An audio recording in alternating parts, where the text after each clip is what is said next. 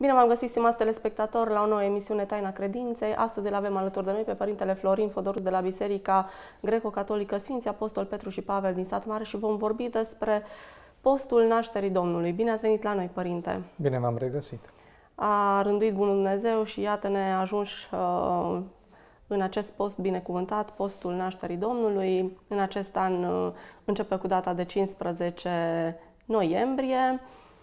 Așa cum știm, este o perioadă de pregătire pentru praznicul uh, Crăciunul, Crăciunului a nașterii Domnului, în care, desigur, primim acest îndemn din partea bisericii de a reconfigura puțin uh, și viața noastră și prioritățile și cumva, cumva să intrăm, să putem să simțim uh, pe deplin acest moment atât de important pentru creștinătate în toată în situația existentă.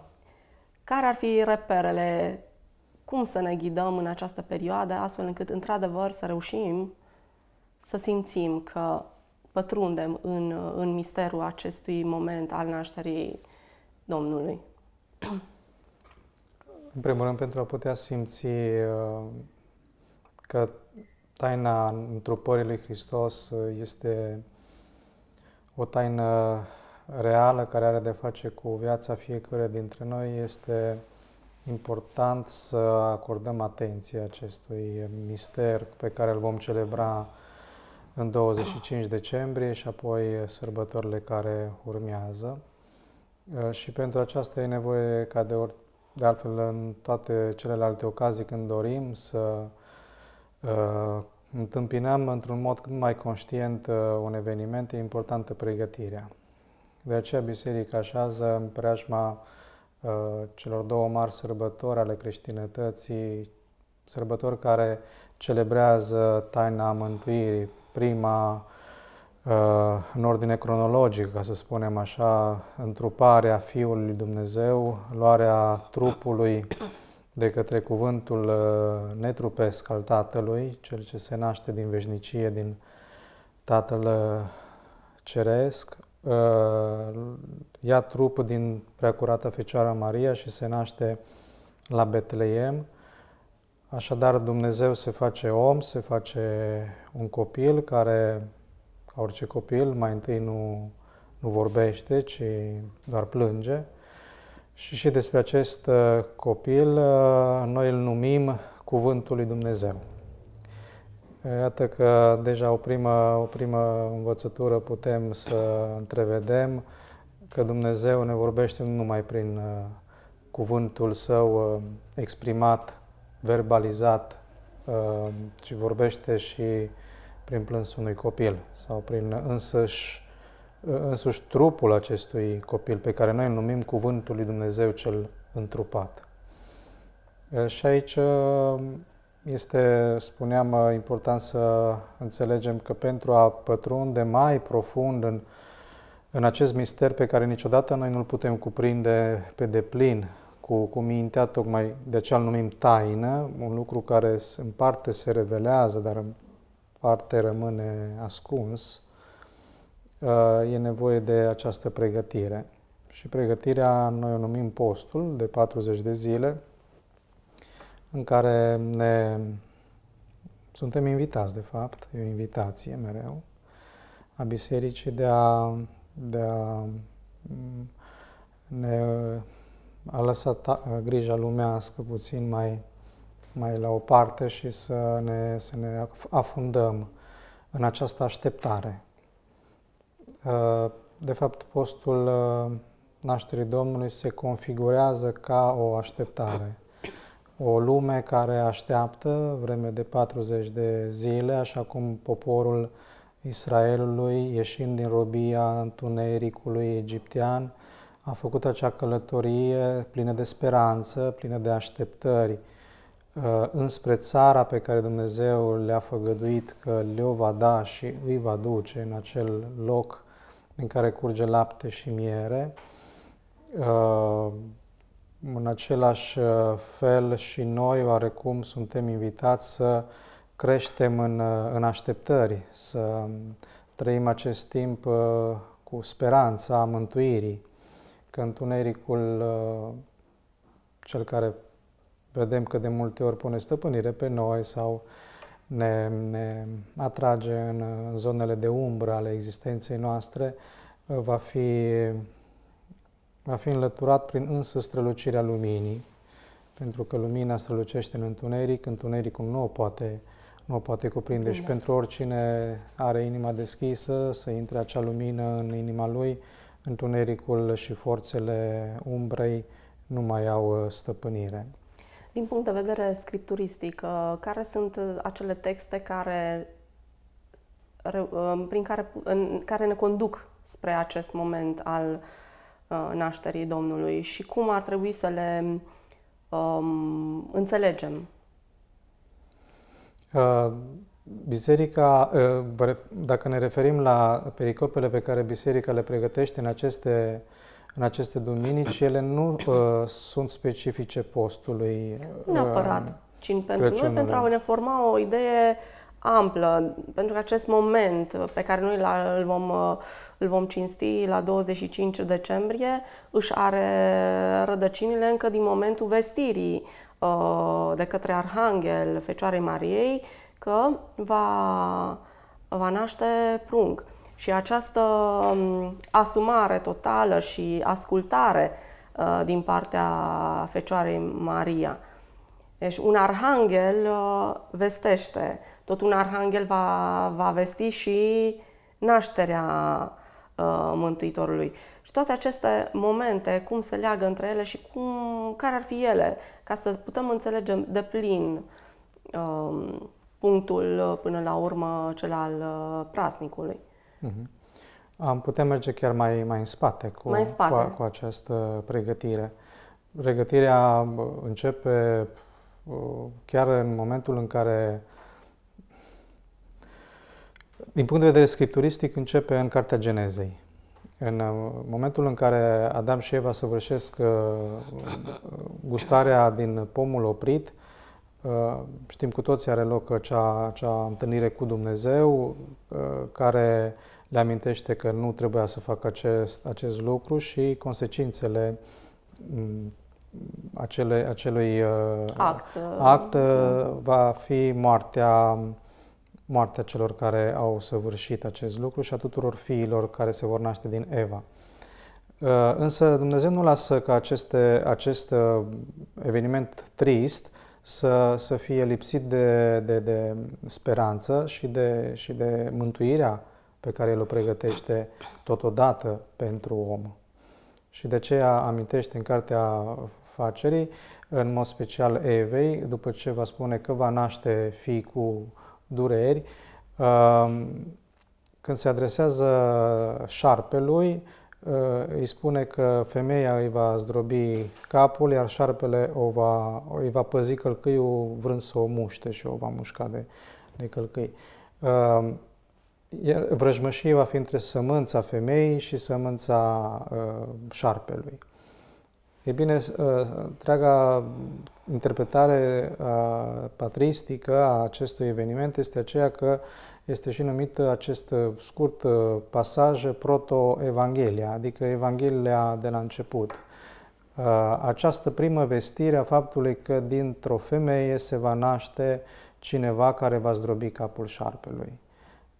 Dar această confruntare dintre sămânța femeii și, și uh, sămânța șarpelui va fi una dramatică pentru că uh, șarpele va înțepa călcâiul uh, care îl va ucide. De aceea noi uh, în ziua de, de Paște cântăm această, acest tropar uh, Hristos a înviat din morți cu moartea pe moarte călcând. Uh, adică moartea sa, înțepătura șarpelui, a adus moartea diavolului și, și a răului care nu mai are stăpânire asupra celor care trăiesc în Hristos, uh, ci sunt uh, liberi ca fiii lui Dumnezeu. Deci uh, această prevestire a nașterii Mântuitorului este deja veche în primele, primele cărți ale, primele pagini ale Scripturii. Apoi mai există și o tradiție, să spunem așa, apocrifă, care ne vorbește despre faptul că această taină ascunsă și de înger neștiută uh, a fost uh, dinainte de creația, de creația omului, revelată într-un fel celui mai mare dintre îngeri, respectiv lui Lucifer, care în momentul în care a aflat această veste a faptului că Fiul lui Dumnezeu, adică Dumnezeu a doua persoană divină, se va întrupa dintr-un om din invidie, cum că Dumnezeu nu va lua firea îngerească, ci firea omenească a unei ființe inferioare, spunea Lucifer, gândea Lucifer, uh, din invidie față de această, acest plan al lui Dumnezeu uh, se va răzvrăti. Cauza răzvrătirii este vestea întrupării Fiului lui Dumnezeu.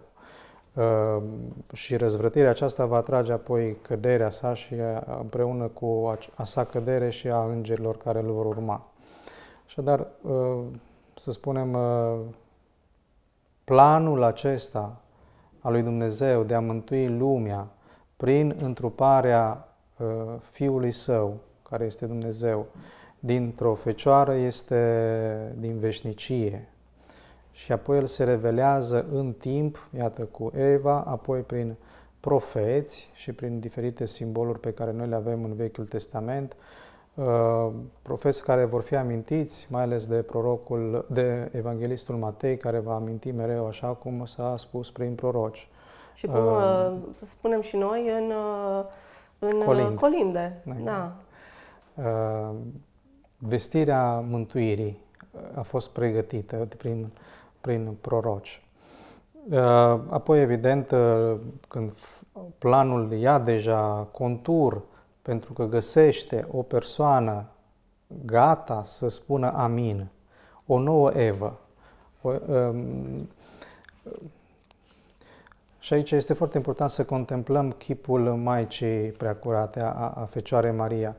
Uh, ea a fost pregătită, dar ea a fost în totală libertate atunci când a acceptat să, să devină colaboratoare uh, totală a planului lui Dumnezeu și a spus acel uh, să fie mie după da. cuvântul tău. Uh, iată că libertatea omului, de fapt, decide la urma urmei aplicarea, punerea în practică, actualizarea planului lui Dumnezeu. Și putem să facem și să exagerăm puțin, să, spună, să spunem că Dumnezeu nu poate să facă nimic fără libertatea noastră, până când noi nu spunem amin la propunerea sa. Așa și, și întruparea lui, lui Dumnezeu în sânul Maicii Sfinte are loc prin răspunsul liber al preacuratei Fecioare Maria, care spune, fie mie după cuvântul tău, Arhanghelului, celui care vestește. Uh, dar uh, e poate aș vrea un pic să ne oprim și asupra unui text din Evanghelistul Matei care ne vorbește despre așteptare, despre așteptarea lui Mesia, a, a lui Dumnezeu. Dar acest uh, text este un text uh, paradoxal pentru că noi îl citim cu, cu o rezonanță din această apocaliptică, Uh, și este situat în Evanghelia de la Matei la capitolul 24 și se vorbește despre ziua și de ceasul acela, uh, despre care nimeni nu știe, nici Îngerii lui Dumnezeu din ceruri și nici Fiul, ci numai Tatăl. Și precum a fost în zilele lui Noi, așa va fi și venirea Fiului omului. Căci precum în zilele acelea, dinainte de potop, oamenii mâncau și beau, se însurau și se măritau, până în ziua când a intrat Noe în corabie și n-au știut până ce a venit potopul și a luat pe toți, la fel va fi și venirea Fiului omului. Atunci, din doi care vor fi la țarină, unul se va lua și altul se va lua, din două care vor măcina la moară, una se va lua și alta se va lăsa. Privegheați, deci, că nu știți în care zi vine Domnul vostru. Aceea cunoașteți că de a ști stăpânul casei la ce strajă din noapte vine furul, ar priveghea și n-ar lăsa să-i se spargă casa. De aceea și voi fiți gata, că în ceasul în care nu gândiți, Fiul omului va veni. Și această, această pericopă este de foarte multe ori citită tocmai ca pregătire pentru Crăciun. Nu este citită ca pregătire pentru ziua aceea a Apocalipsei sau a sfârșitului lumii, ci e citită ca pregătire pentru Crăciun. Uh, și ne întrebăm uh, de ce, pentru că noi suntem obișnuiți să o citim uh, întrebându-ne despre, despre viitorul acela ultim, despre scaton, despre sfârșitul lumii. Însă, tocmai pentru că are aceste referiri la a priveghea, pentru că vine Fiul omului în momentul în care nu știm, nu ne așteptăm, este de fapt uh, citită ca pregătire pentru Crăciun, pentru că și Crăciunul este o așteptare a, a Fiului Omului, a venirii Fiului Omului în viața, în viața noastră. Și uh, textul evanghelic uh, ne, ne arată, ne oferă trei imagini ca să, ca să înțelegem cum să ne pregătim pentru întâlnirea noastră cu, cu Isus Hristos, cu Dumnezeu. Și ne dă exemplul lui Noe, Uh, care uh, a așteptat, el a privegheat, el a, el a fost atent la cuvântul lui Dumnezeu, a fost atent la uh, mișcările sale interioare, intime, la, pentru că Dumnezeu se revelează în inima omului, în primul rând. Că să ne facă puțin mai conștienți față de propria ființă? Sau? Exact, exact. Faptul că noi Ă, noi îl așteptăm pe Dumnezeu fiind atenți la mișcările noastre interioare, la ceea ce se întâmplă în sufletul nostru, la ce ne spune conștiința, care este o voce lăuntrică, la ce ne spun ă, evenimentele care ne se întâmplă în viața de zi cu zi, la ce ne spune uh, Cuvântul lui Dumnezeu pe care îl ascultăm duminica în biserică sau de dorit pe care îl deschidem și acasă, în fiecare seară, înainte de somn și să citim un pasaj din Sfânta Scriptură, să ne întrebăm oare ce vrea să-mi spună Dumnezeu astăzi. Iar dacă avem calendarul liturgic, acela de mână, în care avem în fiecare zi trecute uh, textele pe care Biserica le propune spre meditare credincioșilor, să luăm textul care ne-l dă Biserica spre meditare, să-l citim în ziua aceea și să ne întrebăm oare ce, ce ne spune Dumnezeu astăzi. Pentru că Cuvântul Sfintei Scripturi este viu și lucrător, nu este ca o carte, ca un roman, nu este ca un, uh, ca un ziar, ci este cuvântul viu al lui Dumnezeu. Ca să poți să asculți, trebuie să, să ai dispoziția asta spre tăcere, ca să, să, să um, lași să fie un pic de liniște și în jurul tău și în tine. Da. Ca de să ce? poți să auzi exact. ce-ți transmite. Dacă e mult zgomot, nu, nu mai prea. auzi nimic. Nu prea, nu prea. Da, de aceea îndemnul este mereu privegheați și vă rugați. Pentru că privegherea este această stare de atenție, de, de, de grijă și rugăciunea este scufundarea în interiorul sufletului nostru pentru a dialoga cu Cel care stă în inima noastră și face din inima noastră tronul Său, adică cu Dumnezeu. Deci, uh, evident că nu vom putea asculta dacă nu priveghem, adică dacă nu suntem ca niște santinele care încearcă să, încă o dată, să întrevadă în evenimente, în cuvinte, în întâmplări, în, în, în mișcările interioare, uh, semne, mesaje pe care Dumnezeu ni le transmite.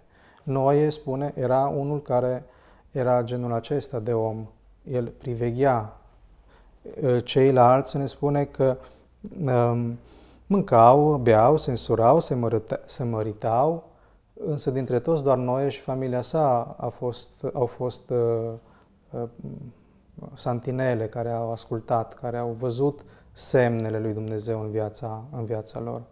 Uh, tuturor celor le se păreau lucruri absolut uh, normale sau chiar dacă le ridicau un semn de întrebare, nu le-au dat uh, prea mare importanță mâncau, beau, își duceau oarecum uh, cursul firesc al, al vieții. Însă a venit potopul uh, deodată.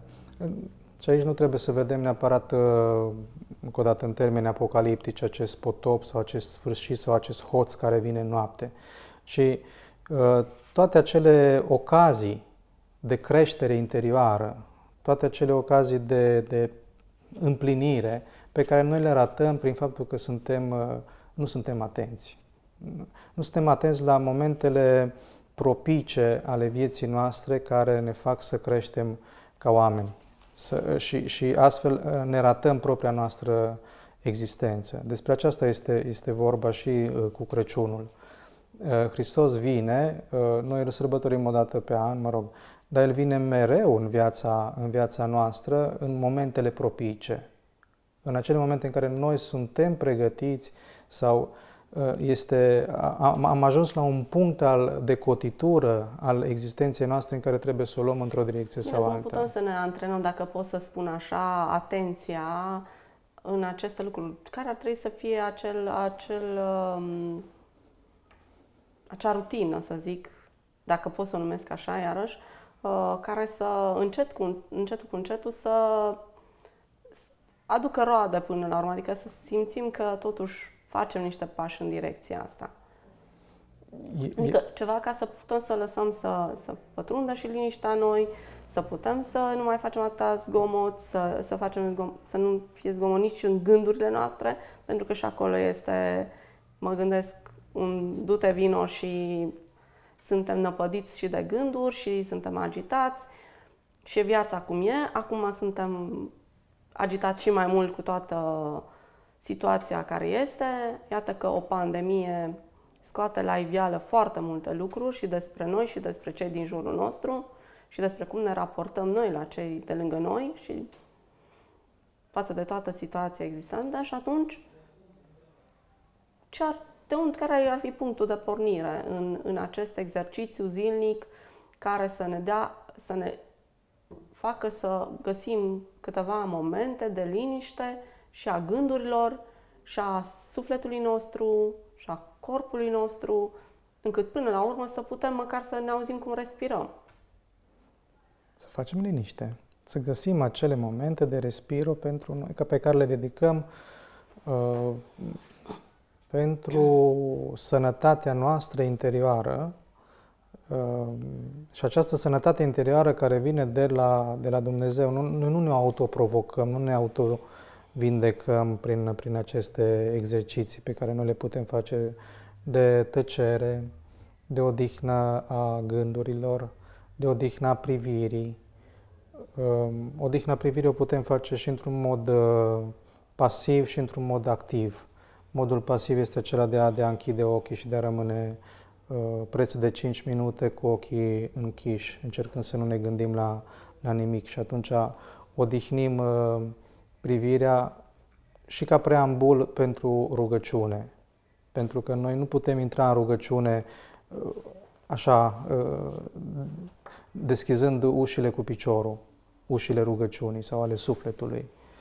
Uh, și să învățăm lucrul acesta de la casele noastre, cum sunt făcute. Nu intri din casă direct în dormitor. Mai întâi deschizi o ușă, e un hol, apoi un coridor de trecere și abia apoi ajungi în, în, în cămăruța camara de nuntă sau dormitor.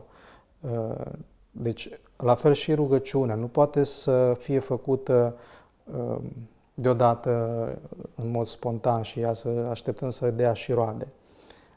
E nevoie de o pregătire. Și această pregătire, încă o dată, o putem face prin odihna simțurilor. Pentru că simțurile sunt porți ale noastre cu lumea și uh, pentru a intra în lumea lui Dumnezeu, lumea nevăzută, e nevoie să, să închidem celelalte porți care ne, ne, ne țin legați încă de, încă de lume. Și putem face odihna ochiului și în mod activ, spre exemplu, uh, contemplând o, un cer, nu trebuie să fie neapărat uh, senin, poate să fie și noros, ideea de a de a fixa privirea pe, pe o lucrare a lui Dumnezeu, uh, de a pe un peisaj sau pe o icoană sau pe o imagine sacră sau pe, uh, pe, pe o operă de artă în care ochiul nostru se odihnește în mod activ. Uh, apoi urechea trebuie și ea odihnită, să găsim o cămăruță, un loc intim în care să nu fim deranjați de, de zgomote, pe cât este posibil. Uh, chiar și o poziție relaxată a trupului nostru este care să nu ne facă să ne gândim la trup sau la poziția, la, nu știu, la, la faptul că ceva ne apasă sau ceva creează o presiune într-o parte sau alta a corpului nostru, uh, astfel încât noi să putem să ne detașăm pentru, pentru preț de câte, nu știu, câte minute putem acorda de la început. Cine vrea să înceapă acest lucru, poate să fie o durată foarte scurtă, poate 5 minute e suficient la început. Ca apoi omul să fie atent și la propriile sale mișcări interioare și dacă are nevoie apoi de mai mult, va, va acorda mai mult timp, va face în așa fel încât să acorde mai mult timp pentru că va simți că se încarcă din, din aceste lucruri. Și aceasta este, să spunem, doar o pregătire, dar poate să fie act în sine, exercițiu în sine, de a te, de a te rupe puțin de, de avalanșa de stimuli care inevitabil ne, ne, ne, ne ia și ne, și ne duce cu, cu ea. Uh, și, dar poate să fie pentru ceva mai mult, pentru omul credincios, uh, să fie încă o dată preambul pentru rugăciune, o anticamera rugăciunii. Că apoi în momentul în care eu îmi deschid uh, Sfânta Carte de Rugăciuni, să atenția mea să fie deja mult mai, mai bine pregătită în a percepe și cuvintele pe care le rostesc uh, și uh, apoi mereu recomand după, să spunem, partea aceasta de liniștire, cea de rugăciune propriu-zisă, care o putem face că e dimineața sau că e seara, uh, să deschidem și Sfânta Scriptură sau, un, sau o carte de spiritualitate și să citim câteva rânduri, iar apoi să facem o scurtă meditație. Adică să ne întrebăm, oare ce vrea să-mi spună aceste cuvinte astăzi mie? Ce m-a atins? Te poți opri asupra unui cuvânt sau asupra unui verset care te-a, te-a atins sau unei propoziții uh, și, să, și să încerci să o interiorizezi. Apoi uh, să se termine totul cu o rugăciune spontană. Adică, Doamne, ajută-mă să, ca ceea ce am înțeles aici să traduc în viața mea uh, pe mai departe. Sau uh, pur și simplu o mulțumire sau o alt, un alt tip de cerere. Dar uh, pașii ar fi, după părerea mea, aceștia, să liniștire, rugăciune, text meditat și rugăciune de cerere sau de mulțumire la sfârșit o, o, un exercițiu din patru, patru elemente. Eu cred că o persoană care obișnuiește să facă lucrurile acestea, să devină tabiet pentru ea, să fie pâinea sa cea de toate zilele, nu cred că va mai fi indiferentă la ceea ce îi se întâmplă, că e vorba de evenimente fortuite sau nefortuite din viața sa, Uh, că e vorba de cuvinte pe care le aude, de stări emoționale sau spirituale pe care le percepe. Și atunci, în asemenea, într-o asemenea inimă, Dumnezeu uh, se face mult mai ușor auzit. Da, și eu vin cu două recomandări, recomandări de care v-am pomenit chiar înainte de a intra în emisiune. Uh, două titluri de a unor cărți uh, semnate de Anselm Grum. Uh, Anselm Grum a studiat teologia, filosofia și administrarea afacerilor și este chelarul unei abații benedictine din uh, Germania. Sau... Da, din Münster, da. Da. Și mm, aceste două cărți uh, pe care le am aici de față și pe care le recomand telespectatorilor noștri, Îngerul Crăciunului și Să nu-ți faci rău, este una din cărțile pentru care mărturisesc că am stat mult să, până am găsit-o, dar uh, în momentul de față este uh, disponibilă editura Galaxia Gutenberg, o are și e disponibilă și o recomand cu căldură celor care ne urmăresc. De ce? Pentru că vor găsi câteva repere foarte bune, chiar și în această cărticică aparent așa micuță, ai spune că e pentru copii. Și cum este ilustrată, e foarte frumos ilustrată, dar um, cele 67 de pagini, 68 de pagini pe care le are cartea, sunt pline de învățăminte și de mesaje de încurajare pentru, o viață, pentru viața noastră și ne face un pic să ne gândim și la altceva decât toate zbaterile de zi cu zi, uh, pornind de la misterul acestui moment al nașterii Domnului. Acești îngeri care au un rol iarăși uh, um, foarte mare în, uh, în momentul vestirii nașterii și a um, momentelor premergătoare nașterii Domnului, iar și important de văzut ce rol aveau, care este mesajul pe care ni-l uh, transmit ei și cum uh, putem să ne îmbunătățim viața. Totodată și această carte de care pomeneam că a apărut la Galaxia Gutenberg, Să nu-ți faci rău, iarăși aici descoperim câteva virtuți pe care putem să le foarte bine, cum am pus și în titlul emisiunii, să le, să le mulțim sau să încercăm să facem cumva să, să ne apropiem de ele acum în toată această perioadă a postului uh, nașterii Domnului, pornind de la credință, fapta bună, cunoștința, înfrânarea, răbdarea, evlavia, iubirea frățească, iar de la iubirea frățească, dragostea. Uh, sunt, uh, este lanțul celor opt virtuți, foarte frumos expus în această carte și totodată acele elemente care să ne ajută pe noi să fim foarte atenți la ce se întâmplă cu noi și în, uh, în sufletul nostru și cum putem să ne ajutăm, să nu ne facem mai mult rău decât bine.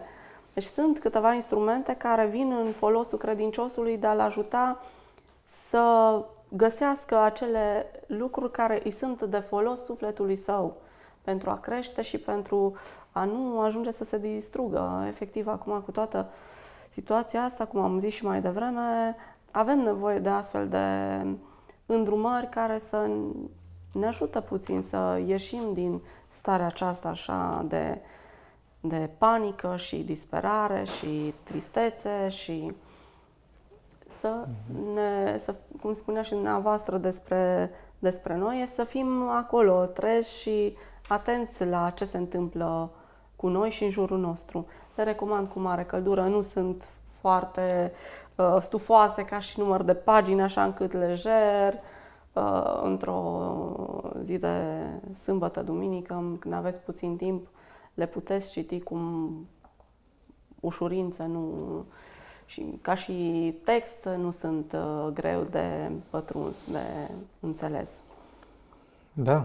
Ansel Grün este un, uh, un autor spiritual foarte citit astăzi, trăiește, este în viață. Este în viață, da. Uh, și a scris foarte multe cărți, o parte din ele sunt traduse în limba română și acest lucru este îmbucurător. Uh, unul dintre, să spunem, despre lucrurile pe care acest autor insistă foarte mult în cărțile sale este uh, pentru a ne vindeca și pentru a trăi uh, și evenimentele acestea despre care ați amintit, respectiv pandemia sau orice altă o lucru suferință, orice suferință uh, sau... neplăcut, nedorit da. de suferință din viața noastră este acela de a încerca să îl acceptăm, de a spune amin, de a a nu trăi cu iluzia că viața noastră este făcută numai din zone de lumină sau de, sau de, de bine, cum am numit noi, ci că noi avem din, din, cu bagajul nostru din copilărie și probabil nu numai din copilărie și moșteniri, uh, zone de umbră. Uh, apoi evenimentele se configurează în viața noastră ca evenimente plăcute, deziderabile, dar apoi și evenimente neplăcute, de nedorit. Uh, faptul de a, de a nu accepta evenimentele neplăcute sau zonele noastre de umbră, respectiv slăbiciunile noastre, uh, uh, păcatele noastre, în sensul de, de greșeli pe care le facem în mod, în mod repetat și care au devenit patim în sensul că nu prea putem să, să ne descotorosim de, de ele. Da. Uh, iar Iisus Hristos ne, ne învață omul uh, de plin, omul unit. Uh, de aceea și icoana Crăciunului, care o avem expusă și, și aici, este grăitoare pentru că ea prin simboluri ne, ne vorbește tocmai despre acest lucru. Pe de o parte este acel prunc este Dumnezeu și îl vedem înfășat în acea fașă albă, luminoasă, este albul în icoane mereu prezența Spiritului Sfânt, a, a, a, a luminii dumnezeiești, a faptul că în acel moment avem de-a face cu uh, o revelație profundă a lui Dumnezeu în, în acea persoană. Uh, deci uh, pruncul este de acel alb imaculat, îmbrăcat, este Dumnezeu, dar totodată este om uh, cu tot ce înseamnă slăbiciunea umană, nu este, iată, nu este un om încă desăvârșit, este un prunc nou născut, cu tot ce înseamnă a fi slab din punct de vedere al firii umane în momentul nașterii. Total dependent de părinții săi, de, de sânul mamei sale, de căldura uh, din acel grajd, de protecția lui Iosif. Uh, așadar, uh, Iisus Hristos nu se rușinează să îmbrățișeze, să ia asupra lui slăbiciunile firii omenești. De aceea, nici noi nu trebuie să ne rușinăm în a recunoaște propriile noastre slăbiciuni și, și neputințe și dependențe. Da, și ne învață cum să lucrăm cu ele astfel încât, uh, cel puțin în cartea aceasta, să nu-ți faci rău, astfel încât, într-adevăr, să, să poți să aduci uh, o stare de echilibru în viața ta, să, să ai acea dreaptă măsură sau încât să nu cazi în extreme, nici de o parte, nici de cealaltă. Da. Deci cumva să restabilească și demnitatea omului, chiar și în suferință. Chiar și în suferință, cum poate să-și ducă acea suferință cu demnitate și să rămână uh, vertical în... Și în primul rând să-și păstreze se, uh, sănătatea și Sănătate, echilibru, exact, pentru că, exact. Uh, vedeți, uh, și în perioada aceasta a pandemiei, multă lume își pierde echilibru sufletesc sau echilibru da. emoțional uh, sau cel psihic, uh, tocmai pentru că mm, această situație apăsătoare din toate punctele de vedere, fie că vine vorba de frica de îmbolnăvire, frica de îmbolnăvire a cuiva drag, Uh, boala în sine care poate să investească pe, pe o persoană.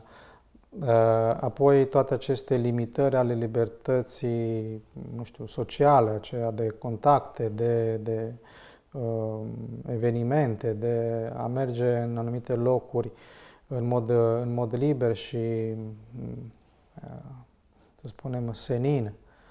Toate aceste lucruri, știrile pe care le, de multe ori le, le sorbim prea mult de la sursele noastre de informare, cu prea multă seriozitate, în sensul de a, de a, le, de a le da o importanță mai mult decât ar trebui să, să le dăm, toate aceste forme de a ne raporta la pandemie și la situația actuală, uh, sigur că sunt apăsătoare și pot să destabilizeze Uh, nu că pot, sigur, destabilizează pe foarte mulți oameni. E bine, uh, credința noastră creștină, spiritualitatea noastră ne, ne îndeamnă să și îmbrățișăm această situație, adică să, să spunem, da, trebuie să trecem prin ea, e, e în regulă, dacă ea este, dacă ea e în desfășurare, înseamnă că e îngăduită, e lăsată să, să trecem prin ea și Dumnezeu ne dă puterea să trecem prin, acest, prin această umbră, prin această noapte. Uh, ne dă puterea să ne ducem această cruce. Nu, nu trebuie să disperăm și să vrem să scăpăm repede de ea și poate mai repede decât ar trebui. Poate trebuie să-și facă ea o cărare prin sufletul nostru să, să lase în trupul nostru social, că noi nu suntem numai trupuri individuale, suntem și trupuri sociale. Uh, suntem comunități care poate ne-am, uh, oare ce lecție învățăm din, ace, din această întâmplare, din acest eveniment care vine ca un tăvăluc peste întreaga lume? Uh, e bine, dacă nu stăm să ne întrebăm ce anume putem învăța, dacă nu spunem amin, adică să fie, accept să trec prin aceasta, ba din potrivă încercăm să fugim și să ne luptăm cu ea într-un mod din acesta uneori disperat și nu primim ca și crucea lui Hristos, nu vom ajunge la înviere. Chiar aceasta este prima dintre virtuți pe care o invocă în, în această lucrare a Ansel Grum, cea a credinței și uh, sfârșește da, acest lanț al celor opt virtuți, cum am pomenit, cu iubirea frățească. Iubirea frățească, deci numai bine că ați pomenit uh, și de această, um, această acest trup uh, social da? Suntem nu numai așa... Responsabili față de mine, sunt responsabili da, și, și față de, față de, de cel de lângă noi. Și iată că, așa cum le-am enumerat, cele opt uh, virtuți, de aici pornesc, de la credință, evlavie, înfrânare, da, poate să judecăm mai puțin, să nu, să nu fim atât de plini de patos în toată această uh, confruntare care există acum pe seama pandemiei, să fim uh, și treji, conștienți de ce se întâmplă, dar în același timp să nu scăpăm frâiele astfel încât să ne rănim, să ne jignim da, unii pe alții. Să ne învrăjbim. Să ne învrăjbim.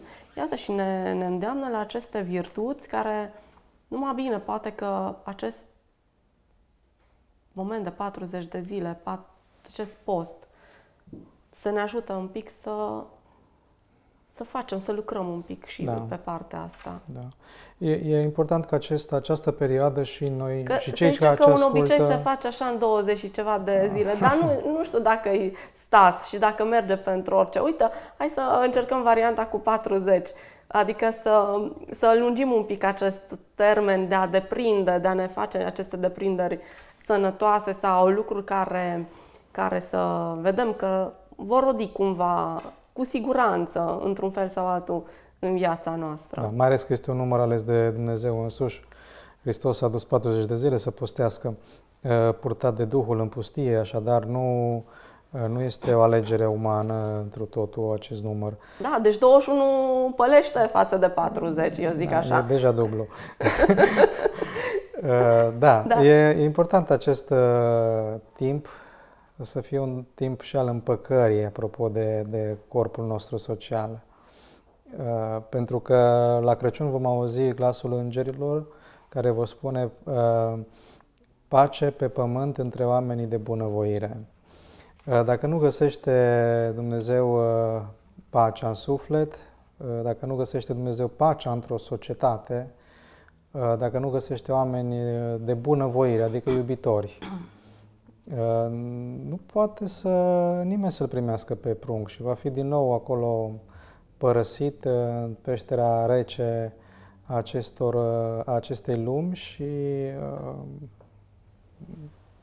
putem să spunem că zadarnică este sărbătoarea noastră, să fie numai mâncat și, și băut, o sărbătoarea Crăciunului și petrecere și ieșire din minți și toate au locul lor și toate au importanța lor și distracția și uh, a te simți bine cu familia și a, cu prietenii și a, și a mânca mâncărurile pregătirii sărbătorii, însă să nu uităm care este motivul sărbătorii.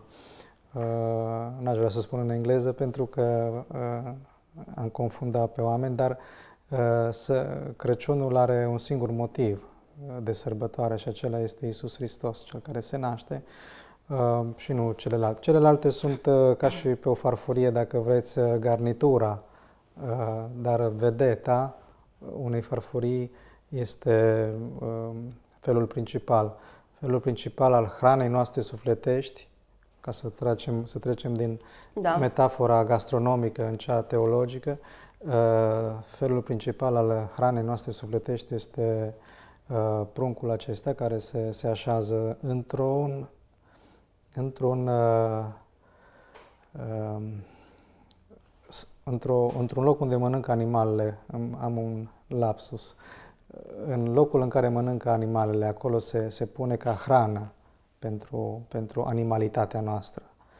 Noi avem această parte animalică pe care Dumnezeu vine să o înalțe la demnitatea divină, să facă din noi nu doar uh, descendenți uh, trupești animalici pe linie trupească, ci această animalitate care încă o dată este reprezentată în icoana nașterii, prin acele două animale care stau și veghează la uh, uh, căpătâiul lui Isus Hristos, a pruncului, este vorba de boul și de măgarul.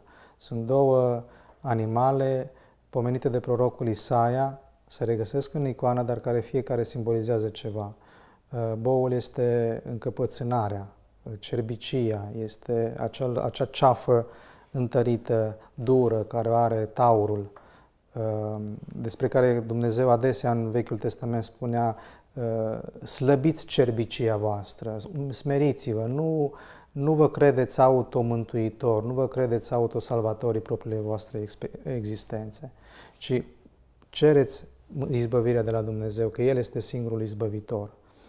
Uh, această încăpățânare, mândrie a omului, uh, care este animalică, și apoi uh, cea, ignoranța, stupizenia, prostia omenească, care este acea necunoaștere a ceea ce este cu adevărat important, ceea ce, este, ce trece dincolo de moarte și pentru care trebuie să, să, să te lupți și căreia să-i acorzi maxima importanță. Măgarul și taurul, animalitatea din noi, aceasta se pune, iată, în slujba uh, unui fiu de om, a unui copil, arătându-ne totodată că noi trebuie să devenim așa, alți Hristoși, alți fii ai lui Dumnezeu. Uh, deci Dumnezeu ne, ne înalță în această, cu această sărbătoare, cu această, cu această taină pe care El a făcut-o pentru noi și Cred că se cuvine să, să medităm în aceste 40 de zile spre ceea ce așteptăm cu adevărat de la propria noastră existență. Da. Um, tocmai acum este și perioada colindelor, uh, va fi și perioada în care se învață să se colinde, se colindă. Este și o perioadă um, cu sărbători uh, și deslegări la pește. Se recomandă să se țină un post este mai ușor având Decât aceste deslegări uh, față de postul Sfintelor Pași, de pildă, unde astfel de mm, momente sunt, sunt mai rare, da, sunt mai la vestire și la, și la flori. Și la flori. Uh, acum, uh, după prima săptămână din postul Crăciunului, începe și perioada în care fie la o sărbătoare, fie, cum știm, sâmbetele, duminicile se Uh, face deslegare la pește. Deci putem să ne antrenăm un pic și pe partea aceasta de a ne înfrâna și, și de la mâncare, da? pentru că este una dintre, dintre cele opt uh, virtuți. virtuți. Da, și așa cum, uh, cum le vedem, ca să ajungem la această dragoste, trebuie să trecem prin toate opt. Deci nu putem să ajungem la dragoste dacă eliminăm uh, una dintre ele. Și așa începe. Începe cu credința, cu fapta bună. Numai bine că vom putea să... Să, să fim mai buni. Să fim mai buni și cu noi și cu alții, da? Uh, cunoștința, cum ziceam, să fim treși, să fim, să fim uh, mult mai atenți la ce, ce se întâmplă, înfrânarea, da? Răbdarea, așa, evlavia, iubirea frățească și de aici, iată cel mai frumos și prețios lucru, dragostea. Așa putem să ajungem într-adevăr la o dragoste autentică, să, să putem să trecem prin toate aceste uh, opt uh, virtuți. Este un lanț care nu poate să fie rupt, să scoți o verigă și să le lași numai pe celelalte. Ele curg una din cealaltă. Și dacă cei care ne urmăresc, telespectatorii noștri, vor dori mai multe informații, Ansel Grun, în cartea Să nu-ți faci rău, vi le explică foarte frumos. Eu am fost foarte entuziasmată găsind uh, aceste cărți uh, și, într-adevăr, uh, ne ajută. Ne ajută, cum spunea și dumneavoastră, să începem cu Sfânta Scriptură și să citim măcar un verset, măcar un capitol, cât de puțin putem, dacă nu putem mult, măcar puțin, acolo, un capitolaș, un paragraf, ceva, dar să facem un pas în uh, direcția asta. Și atunci, încet, încet, o să vedem că dau și Da. rod lucrurile E- acestea. E o investi- e investiție în propria, în propria, în propria ți țnemurire, e o investiție în propria sănătate interioară din care apoi derivă și celelalte. E, Depinde în ce, în ce investim, unde ne este comoara. Așa este. Părinte, vă mulțumim foarte mult că ați fost alături de noi și de telespectatorii noștri. Le dorim tuturor un post uh, binecuvântat, um, care să le aducă toate cele de folos uh, sufletului lor și vieții lor. Vă mulțumim, vă mai așteptăm în această perioadă să, să, um, să discutăm, să abordăm și alte aspecte ce țin de acest uh, minunat prasnic.